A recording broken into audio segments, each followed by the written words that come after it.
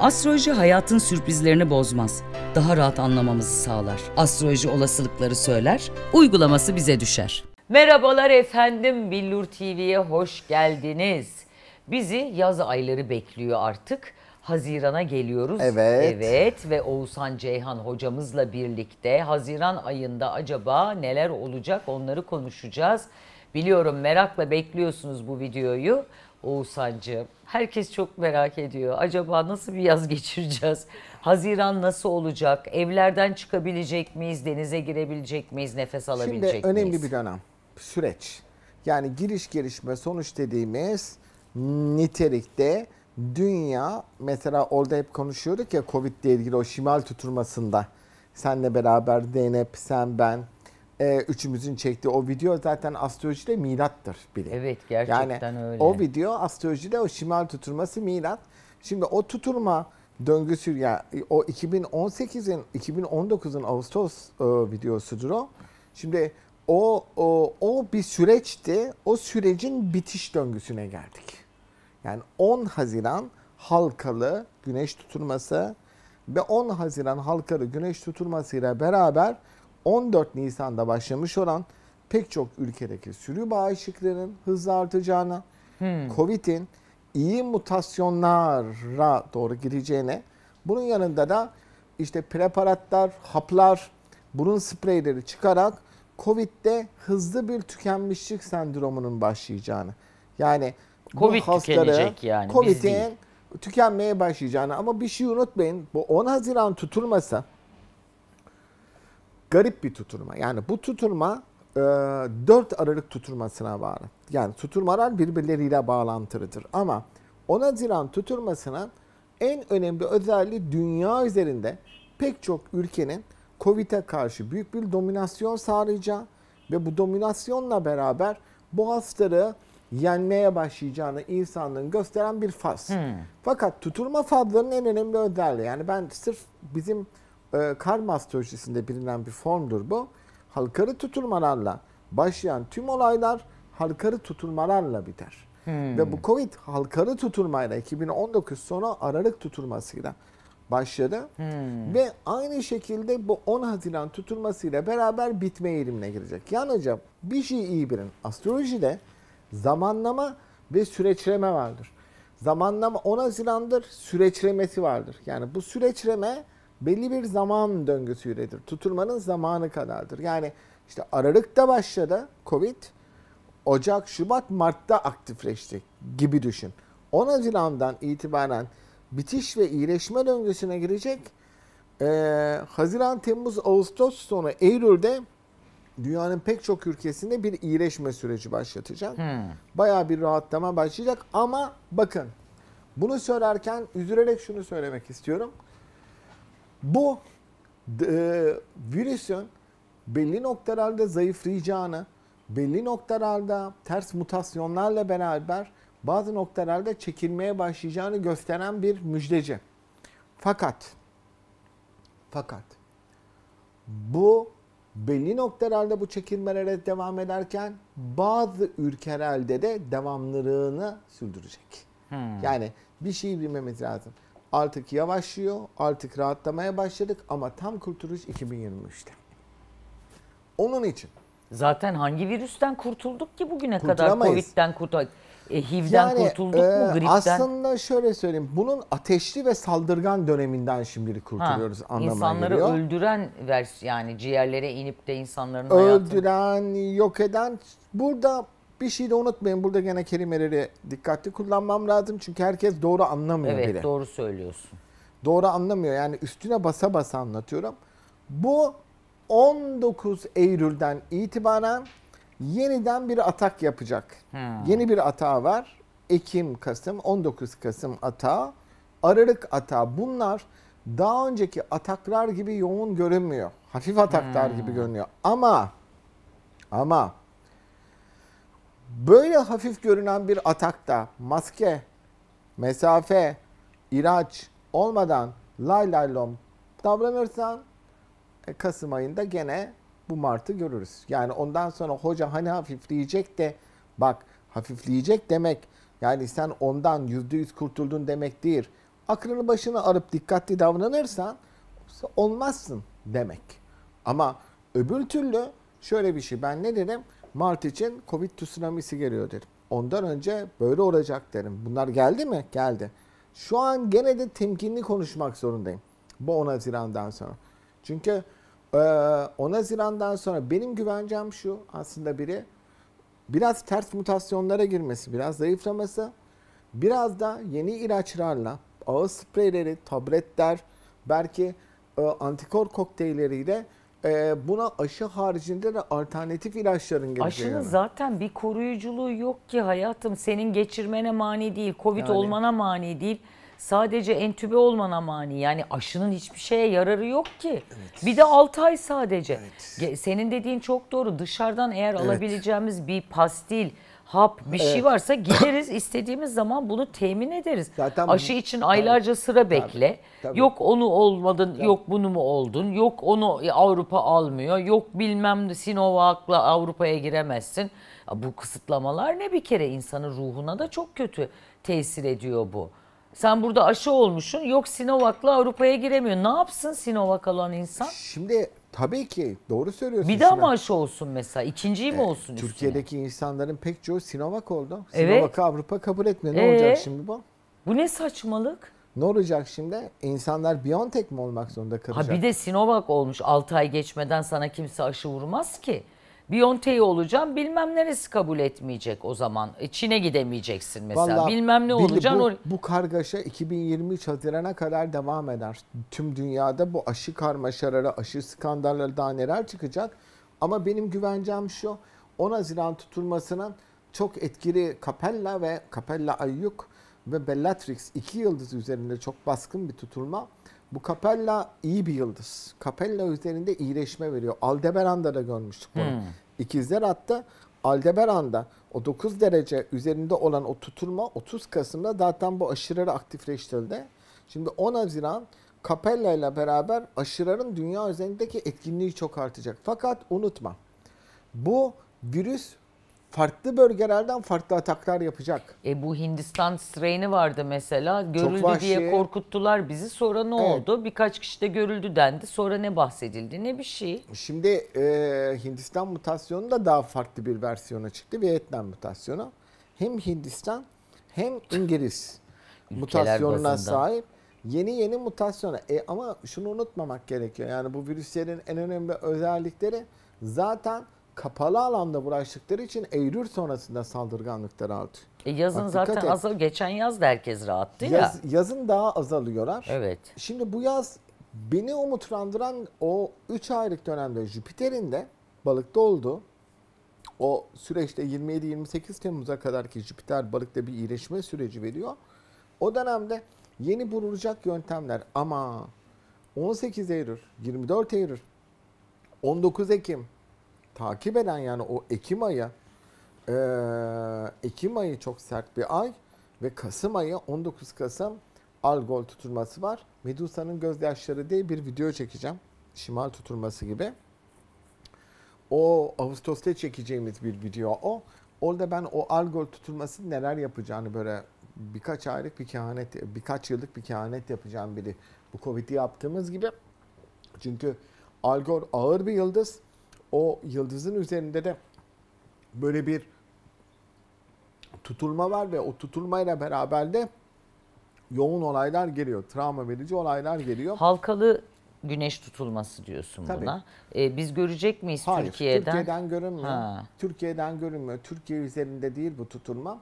Ee, Allah'tan görünmüyor. Görünse daha da kötü Öyle olur. mi? Daha da Peki kötü bu olur. halkalı güneş tutulması ya Covid haricinde hiçbir konuya bir şey etki etmiyor mu? Sadece Covid mi gündemimiz Hayır. ya? Halkalı tutulmalarda şimdi şöyle bir şey var. Tutulmanın bir niteliği var biri. Yani bir tutulmanın altta bir sembolizmi var ve bu bir Saros döngüsüyle bağlantılı. Yani tutulmanın kardeşleri var. Bir güneş tutulmasının ve bir ay tutulmasının kardeşleri var. Güneş ve ay tutulmaları tabii ki güneş tutulmaları bilhassa tam, halkarı, palçarı, hibrit olarak dört tane sınıf tutulmamız var astrolojide gördüğümüz. Bunlardan halkarı tutulmalar ve tam tutulmalar en sert tutulmalar. Palçalı ve hibrit tutulmalar acayip etkilere sahip ama şöyle düşün. Birinde etki tam direkt geliyor tam tutulmada. Palçalı tutulmada parça parça geliyor. halkarı tutulmada geliyor ama ne olduğu anlaşılmıyor. Halkarı tutulmalardaki en büyük sorun bir problemin tam belirlenememesidir. Yani bu Covid denilen melet, melun tam belirlenemedi aslında. İşte böyle şeyler çıkar halkarı Hmm. tutulmalarda. Yani sebebi anlaşılmayan hastalıklar. Boşandı ama neden boşandı?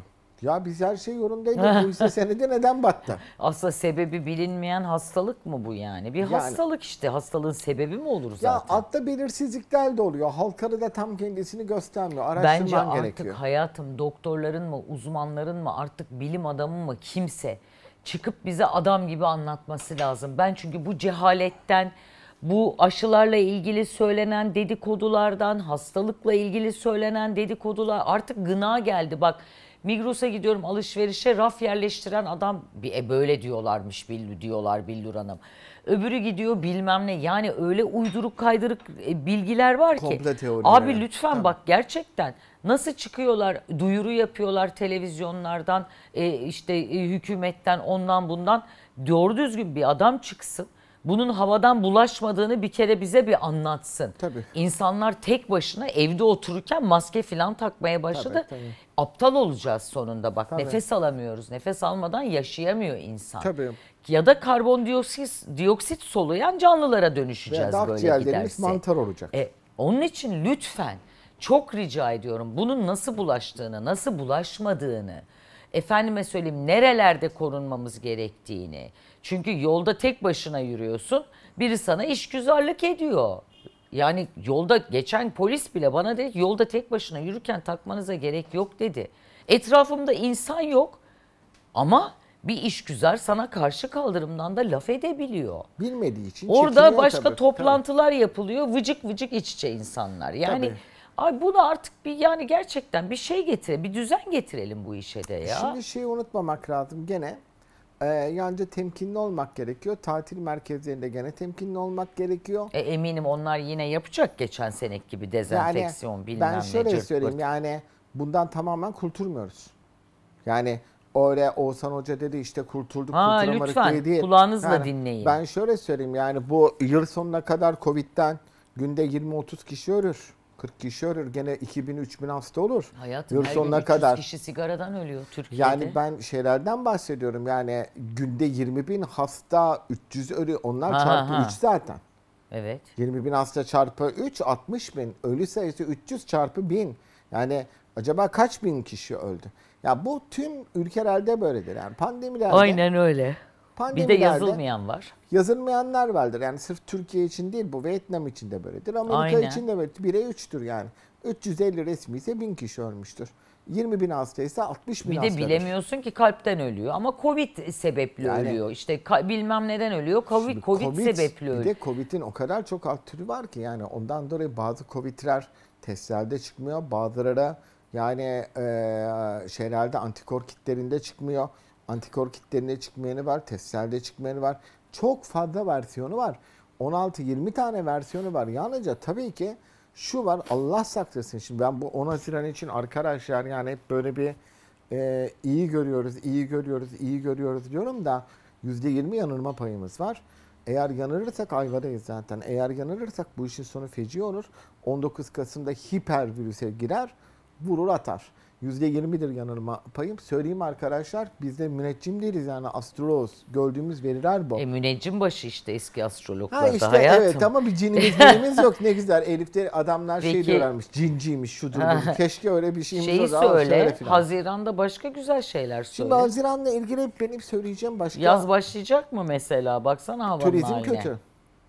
Yaz başlayacak Turizm yani. kötü çünkü ülkeler e, vatandaşlarını yollamıyorlar. Şimdi Türkiye'ye değil aslında hiçbir yere ada- adam gibi yollamıyorlar. İngiltere mesela 10-15 gün e, 15 güne çıkaracak dedin sen. Kapı, kapıdan girdiğin an karantinaya alıyor seni. Otel parasını da sana ödetiyor. Eskiden eve gönderiyorlardı. Daha ağır yaptırımlar getirdiler. Rusya göndermiyor. İşte bilmem neresi Fransa göndermiyor. E, adamlar ne yapsın? Buraya gelip bir de hani bizim ülkemiz e, özelinde konuşayım. Güneşlenmek istiyorlar, sıcak bir havaya kavuşmak istiyorlar. Bir güzel Tabii. dünyanın cenneti burası. Gelemeyecekler bu sene. Çünkü döndüğünde ceza yiyecek. e, ondan gelemeyecek Artı adam. bir de artık karantinaya alınıyor 10 gün. İşte onu diyorum ceza o. Türkiye'den gitti karantinaya. E, ceza otelde 15 kalacak gün ve de tabii de ödeyecek. evet. Yani tatilin 3 mislini kendi ülkesinde harcayacak. Cebinden ben olsam ben de gitmem. Yani onun için bu yıl turizm yok. İç turizm var. E, iç turizm var. İç turizmi de biliyoruz vıcık vıcık şimdi biz sen de sen, hani biraz rahatlama oldu mu her yere saldıracağız. Fakat şöyle söyleyeyim ben size yani bu 10 Haziran'ın etki mekanizmasını tam anlamıyla 1 Ağustos'ta görürüz. Yani 10 Haziran'da bu 10 Haziran'a Hmm. Doğru. kadar bu açılma oldu. 1 Ağustos'a kadar her şey böyle süper süper yolunda olmayacak. Yani o 10 Haziran civarında filan da gene biraz yükselmiş olur bu sayılar. Yani eee, çünkü açılmalar başlayacak. Açılmalarla beraber bir kontrolsüzlük başlayacak. Ama beni ilgilendiren 18 Eylül, Ekim, Kasım. Ekim ve Kasım'da ne olacağı işte o preparatlarla falan düzeleceğini düşünüyorum kısmen. Şu önemli arkadaşlar dikkatli olun, temkinli olun. Yeni ilaçlara araştırın internette. Aşı haricinde pek çok şey çıktı. Bizim ülkemizde yani kusura bakmayın bir iki birkaç tane televizyon kanalının söylediği şeylerle gidiyorsunuz. Sosyal medya e, spekülasyonlarıyla gidiyorsunuz. Gerçekten dünyada belli şeylerin bulunduğu görünüyor. Ben ona çok şaşırdım. Pastiller bulunur falan demiştim. Bulunmuş. E bulunur Vallahi. tabii çok mantıklı hayatım. Ve bunlar da yani bizim kültürümüzümüz bunlardır yani bu spreylerdir, pastillerdir. Tabii. Çünkü Direkt virüsü öldür ağzında yani. işte inmesin ciğerine. Çünkü bu aşılama süreçlerine girdiğinde e şimdi işte çıktı televizyonda e, gazetelerde herkes şimdi Covid geçirmiş kişi Biontech olursa ağır yan etkilerle Evet. karşılaşır. Şimdi söylüyorlar ama kaç kişi oldu? Ya bir de şimdi bir şey de yok. istatistik de bilmiyoruz. Covid olan kaç kişi öldü? K- Covid aşısı olan kaç kişi kurtuldu onu da bilmiyoruz. Bilmiyoruz. Elimizde real bir veri de yok. Yani yok. Bence Covid- hiçbir ülkede yok. Ben çevremde Covid aşısı olduktan iki hafta sonra Covid'e yakalanan çok kişi gördüm. Olup da hemen yakalanan da çok var. Evet olup da Bak hemen- aşı şöyle işe yarar. Çiçek aşısı gibi. Evet. Derlerse ki size bir kere bir aşı vuracağız. Covid bir daha hayatta vücudunuza uğramayacak. Çiçeği nasıl bitirdiler dünyada? Demek ki o virüste e, çok başarılı olundu. Belki de mutatif bir virüs değildi çiçek. mutatif değil Ee, işte ondan. Tamam. Buna da yani yoksa sen 6 ayda bir insanlara iğne yapamazsın ki kardeşim vücuduna ne soktuğun belli değil. Zaten eğer kendisi çekilmezse bu aşılarla da baş edemezsin. Yani BioNTech bile yani Hindistan ve İngiliz versiyonlarına %70 etkili.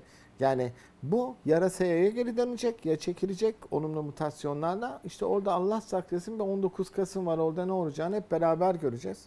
19 Ya Kasım'da bir yeni yazı bir... yaşayalım da şu anda hiç Kasım'ı falan kimse düşünmek Yani istemiyor. şimdi bir 3 aylık bir rahatlama sürecindeyiz ama bu 3 aylık rahatlama sürecinde sıkıntımız bizim ülke olarak şu. Ee, ikizler yay kaslarında olan olgu topluma sarsacak e, haberler gelmeye devam edecek. Yani işte e, son zamanlarda yaşadığımız gibi toplumu sarsan, toplumun e, çeşitli bilinmeyenlerinin ortaya çıktı. Yöneticilerin e, veya işte çeşitli kurumların, çeşitli kişilerin ve kimliklerin yıllardan beri yeni yüzleriyle karşılaşacağız ve bazılarına karşı da çok şaşıracağız. Çok edici haberler gelecek. Bunlar görünüyor.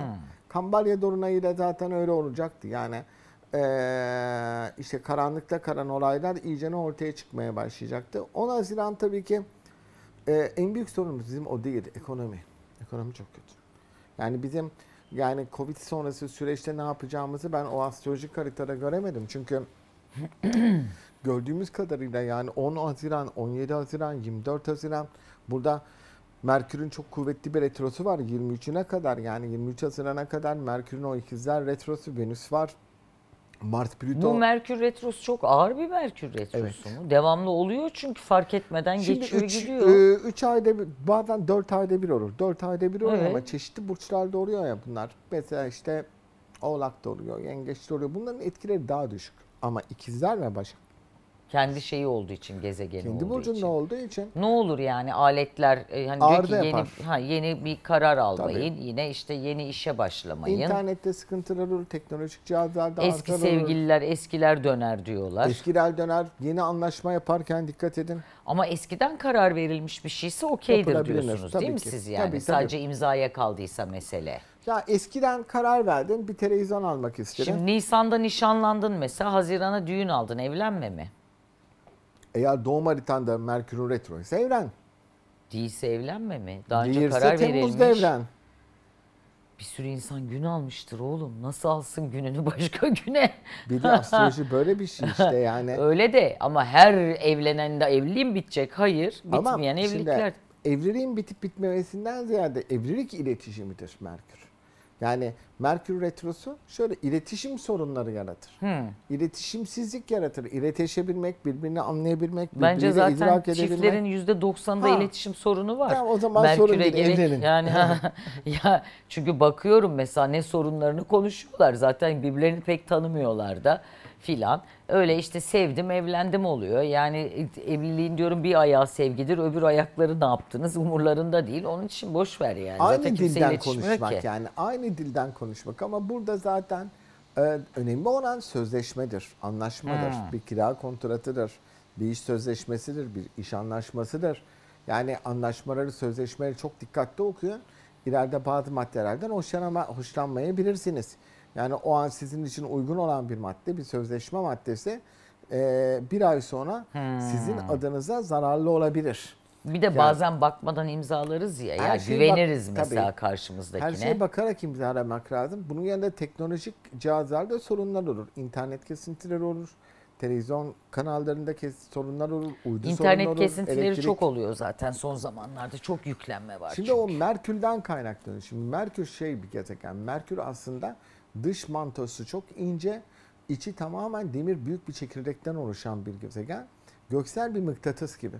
Onun dünyaya yaklaşması veya dünyaya Güneş Merkür'ün aynı hatta olması Güneşten dünyaya gelen elektromanyetik alanı değiştiriyor.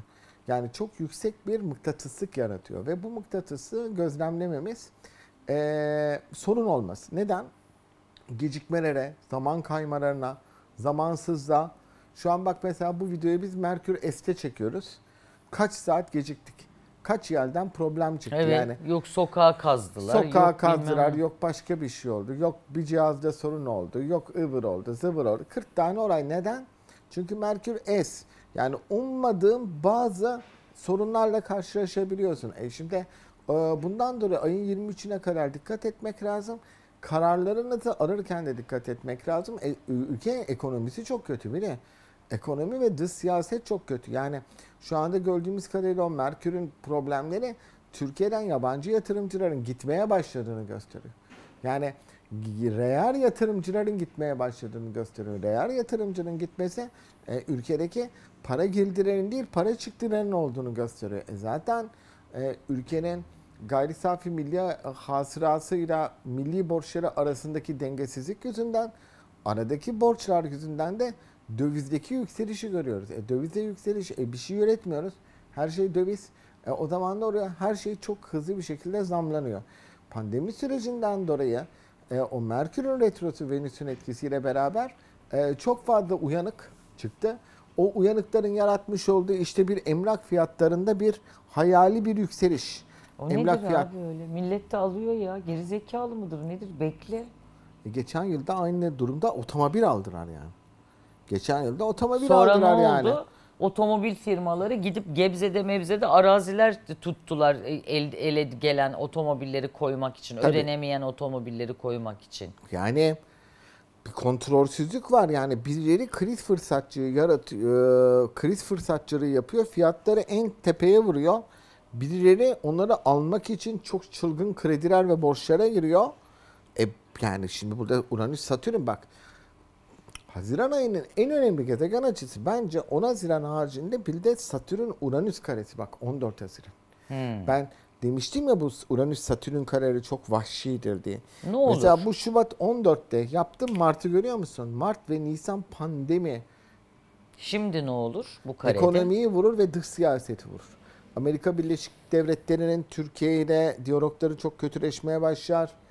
Ee, bunun yanında bir kısım söylemler yüzünden halk aşırı gerginlik yaşamaya başlar. Halkın güven duyduğu kurumlar ve kurumlar ve halk arasında güvensizlikler çok fazlasıyla başlar.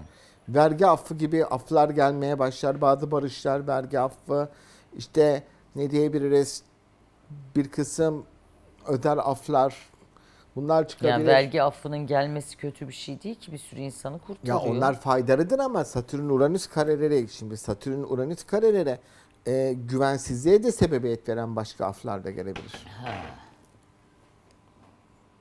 yani başka anda başka hiç aflar da gelebilir. Yani e, gelmem yani işte anladın sen. Oralarda sorunlar var. O Satürn Uranüs kareleri böyle. Bu seferki Satürn Uranüs karesi ilki pandemi ve ekonomiden vurdu. Bu direkt ekonomiden gelecek. Ve direkt ekonomiden gelecek. Yaz biraz geç gelir.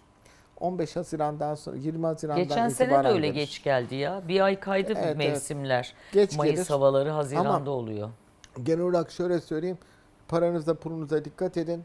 Ee, en büyük sorunumuz ekonomi ve e, kaynaklardaki kaynak dağılımındaki eşitsizliğin artması Bu- ve kişilerin devlet ve kurumlara karşı güveninin azalması çok skandal haberler gelir. Bu Merkür, Venüs, Neptün. Yine idareden mi? Evet 6'sından itibaren yani 6 Haziran, 7 Haziran orada Mars Plüto karşıtı 10 Haziran, 14 Biz Haziran. severiz skandalı hayatım. Bir Tabii şey canım. olmuyor ki bu ülkede. Skandal haber geliyor. Mesela- Başka ülkede olsa ülke karışır. Tabii 14 Haziran şuradan önemli.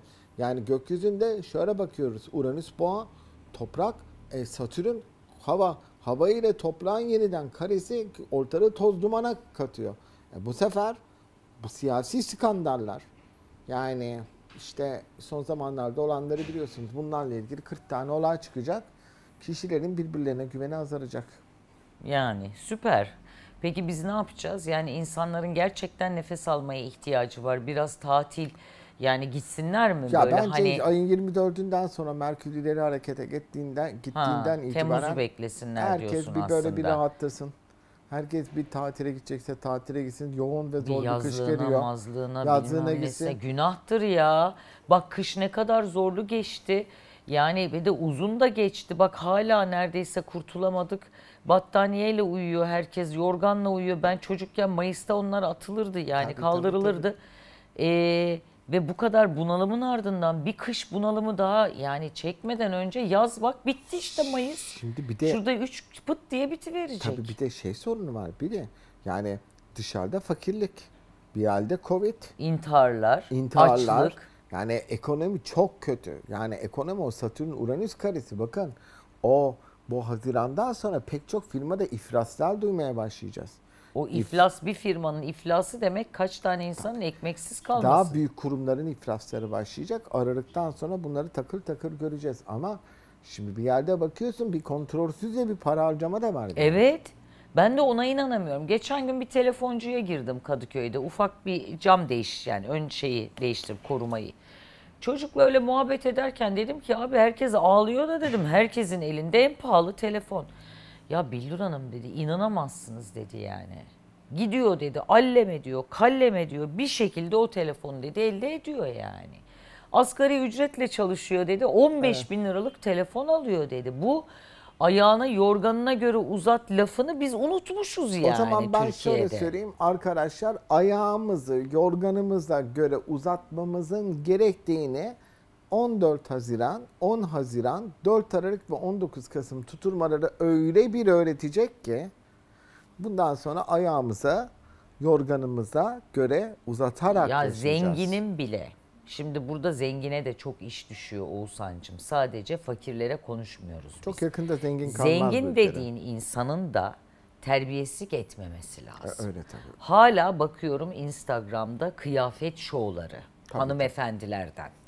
Almış. Nereye giyeceksin kardeşim? Bak niye aldın? Hadi niye aldığını geçelim. Hastasın. Böyle bir kendilerine pıt pıt pıt pıt böyle bir şey yeni bir şey çıktı böyle pat yapıyorsun kıyafetin değişiyor. Vık oturuyorsun bilmem neyin değişiyor filan. O ne ya? Bunlardan yüzlerce kıyafetler, yemekler, lüks şeyler paylaş paylaş paylaş. Bak bir sürü insan aç bir ilaç. Ortada kalmış. Yapmayın arkadaşlar. Onların da elinde var çünkü o telefonlar. Bir sürü milyonlarca hayvan bak verilmek Bence boşuna isteniliyor. konuşuyorsun. Anlamayacaklar. Hayat onları anlatacak. Anlatacak diyorsun. Hayat onları anlatacak. Onun için Abi arkadaşlar. günah günah ya. Bak ben bu kadar net söylüyorum. Şimal tutulmasında ne olacağı söyledim. Oldu. Zenginsen zenginliğine sakın güvenme. Bu ülkede tüm dengeler o kadar hızla değişmek üzere ki kimin kim olduğunun belli olmayacak bir döneme giriyoruz. Onu çok iyi bilin. Ne demek istediğimi anlayan anladı. Ama her şeyin yer değiştirecek. Her şeyin Uranüs'ten yön değiştirecek. dolayı mı? Uranüs'ten. Her şey yön değiştirecek. Her şey e, yer değiştirecek. Yarın koskoca firmanın iflas ettiğini görürsün. O kıyafetleri eee, yani tamir ettirecek para bulamazsın. Çok fukaradır, çok maddi durumu bozuktur. Elinden geleni yapmaya bir anda zengin olabilir. Böyle bir dönem. Kimin ne olacağının hiç belli olmadığı bir Uranüs transiti içindeyiz. İki yıl yaşayacağız. İyi kalpli olalım. Çok sert siyasi süreçler olacak. Çok sert devletin üst yöneticilerinde gerginlikler ve hizipleşmeler olacak. Öyle gösteriyor. O MC'den geliyor yani tutulmalar. MC'lere kare hep. Yani ülkenin yönetim ve muhalefeti arasında birbirlerine feci gireceğini gösteriyor. Kadın birkaç liderin güçlü bir şekilde ortaya çıkacağını gösteriyor. Kadın liderlere. Ee, dünyada bir kadın yükselişi var mı Evet. astrolojik olarak? Tüm dünyada var. Türkiye'de de olacak o. Yani, Yani, çünkü onu da böyle hem hissediyorum Tabii. hem görüyorum da yani müthiş bir kadın yükselişi. Yani bir de kadınların e, ekipleşmesi ki çok önemli. Kadının kadını tutması çok önemli bir şey. E, kadın e, Az görünen bir şeydir Evet o. erkeklerin kadınlara karşı olan bir takım büyük erkeklerden, düzgün adamlardan bahsediyorum. Hani sözü geçen Tabii, tabii. kadınlara karşı olan tutumlarında değişimler, kadın yöneticiler, kadın CEO'lar, kadın devlet başkanları kadınlarda inanılmaz bir değişim var. Türkiye adına güzel şeyler şöyle, e, kadınların daha güçlü olacağı, daha yönetim kadrolarında daha kuvvetli de daha entelektüel kadınların gündeme gelmeye başlayacağı hemen değil bir buçuk yıl sürecek. Kadın liderlerin daha plana çıkacağı tüm dünyada olduğu gibi bir Türkiye geliyor. O kısım da iyi. Sporda başarılar gelecek. Ben her zaman böyle bir gerginlik döngüsü olduğunda ülkede bir sıkıntı ve kriz geldiğinde her zaman derim spor başarıları gelir dedim. Yani Efes'ten Efes bir geldi. senden geldi. Tebrik ediyoruz kendilerini. Final Four'u kazandılar. Önemli iş o. İnşallah milli takımdan da bazı sürpriz başarılar gelecektir. En azından onlar bizi mutlu edecek. Ama onu da seyredemiyoruz ki keyifle. evet yani. NBA'de ama insan almaya başlamışlar içeri. NBA'de almaya başlamışlar. Ee, Euroleague'de de almışlar biraz belli bir sayıda. İşte şey var arkadaşlar yani e, kontrol altına alınmaya başladı. Ama bizdeki sıkıntı şu. Bizde aşırama çok yavaş. Bizde aşırama çok yavaş. Bunun yanında insanların kendini korumaları da çok yavaş. Dengesizlikleri de çok fazla. Kişilerin bilinçsizliği de çok fazla. Onun için lütfen kendinizi koruyun. Yani bu biraz azalsa desek de bakın yani e, şöyle bin hasta olduğu takdirde bile bak günde bin hasta.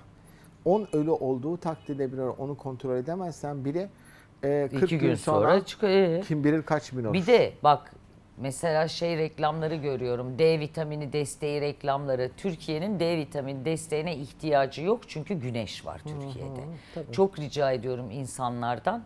Niye bağışıklığınız bu kadar kuvvetli diye soracağınıza bağışıklığı olan insanlara Güneşe biraz çıkın. güneşe çıkın. Böyle e, malak gibi altında yatın demiyorum. Günde 15 dakika kollarınızı bile şöyle sıyırıp tutsanız oradan sentezlenir. Biraz güneşe tutun teninizi. Güneşe çıkın, biraz doğal beslenin. Evet. Yani- Doğada olun, toprakla temas edin. Plazaların tepelerinde, naylon halıların üstünde, beyaz ışıkların altında ölüyor, ölüyor Vallahi- ruhlar ölüyor vallahi ya. ben bir şey söyleyeyim size. Yani buna bir kısım bilim insanları inanıyor, inanmıyor. Bilim insanların çoğu da Covid'in ne halt olduğunu bilmiyor. Ama ben e, hem astrolojik olarak gördüğüm bir şey hem de yabancı yayınlarda okuduğum bir şey var.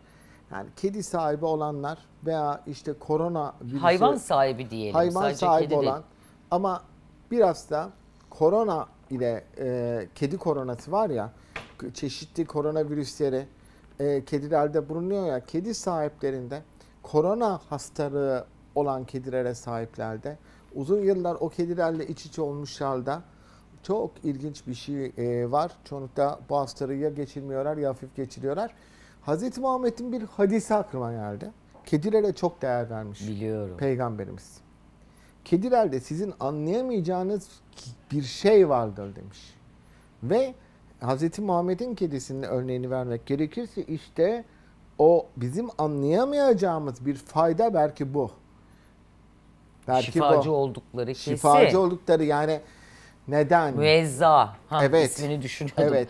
Peygamberimizin kedisi. Peygamberimizin müezza. kedisi. Şimdi ben onu çok düşünüyorum. Gerçekten çevremde kedi e, korona e, ya müzdarip kedisi olup hastalanan bir çevremde insan olmadı.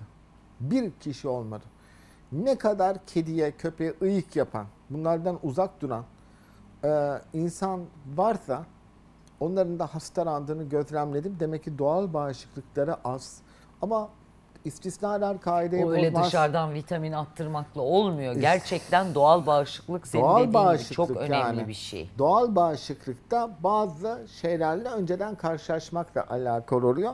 Onu da ha bazıları diyebilir ki işte bizim kedimiz vardı, köpeğimiz vardı ama biz gene korona olduk doğru olabilirsiniz. Ee, yani düşükte ihtimal olabiliyor ama çok nettir yani bu adamlar ciddi ciddi araştırıyorlar. Bu hayvan koronası ile karşı karşıya kalmış olan insanlarda muhtemelen çok şiddetli bir bağışıklık var. Bu bağışıklıktan dolayı da yırtıyorlar. Çünkü sadece koronayı değil bir sürü mikrobu tanıyor. Daha neler onlarla. öğreneceğiz? Daha neler göreceğiz? Temmuz'da görüşürüz sevgiler.